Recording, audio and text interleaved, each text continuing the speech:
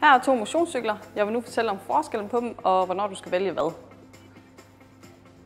Du kan med fordel vælge den mindre motionscykel, hvis dit træningsbehov er begrænset, du skal genoptræne eller i gang igen efter en træningspause. Ønsker du at øge træningsmængden, komforten, effektiviteten, så anbefaler jeg, at du vælger en større og kraftigere model. En større motionscykel yder en bedre komfort, en forbedret kørestilling, jævnt og behageligt tråd, og så en robusthed, som kun kan opnås ved motionscykler med en kraftig og stiv ramme. Svinghjulet, hvor tungt skal det være?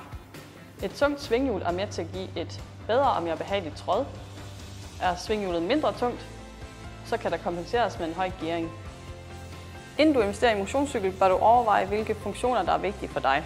I hvor stor grad skal sadel og styr kunne indstilles individuelt. Er der programmer nok, og er det de rigtige programmer, såsom intervaltræning, pulstræning eller bakketræning? Og er der adgang til web, så du kan uploade dine træningsdata? Udover motionscykler, så findes der også spændingscykler. Dem kan du læse meget mere om på vores hjemmeside.